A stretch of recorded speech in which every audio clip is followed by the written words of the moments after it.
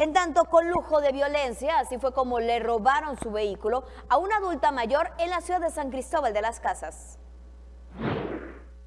Hombres armados con lujo de violencia se robaron un vehículo estacionado en una calle de la zona norte de San Cristóbal de las Casas. Luego se dieron a la fuga, dejando con crisis nerviosa a la propietaria del vehículo, de la marca Chevrolet. El robo se registró cuando una mujer de la tercera edad abordaba su vehículo sobre la calle Vista Azul número 1 del fraccionamiento La Vista. Los sujetos con armas de fuego amenazaron a la persona y se llevaron la camioneta. En la denuncia de uno de los familiares, dijo que fueron dos personas quienes llegaron y amenazaron a la mujer de la tercera edad, obligándola a entregar las llaves. Segundos después, los sujetos desconocidos se llevaron el vehículo marca Chevrolet tipo Grove, por lo que pide a la ciudadanía su apoyo, ya que esta unidad es un medio de transporte personal. La camioneta tiene las placas del estado de Chiapas DCY 419D, por lo que la víctima presentó su denuncia formal ante la Fiscalía de Justicia, por lo que pide la recuperación del vehículo a través de las corporaciones policíacas. Según versiones, los sujetos se iban a la fuga rumbo a la carretera que comunica de San Cristóbal a San Juan Chamula, por lo que se pide la colaboración de la ciudadanía para identificar la unidad.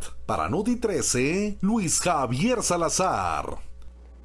Ahí tiene pues esta situación tan lamentable y bueno, la persona agraviada que está alzando la voz precisamente para pedir mayor seguridad a las autoridades.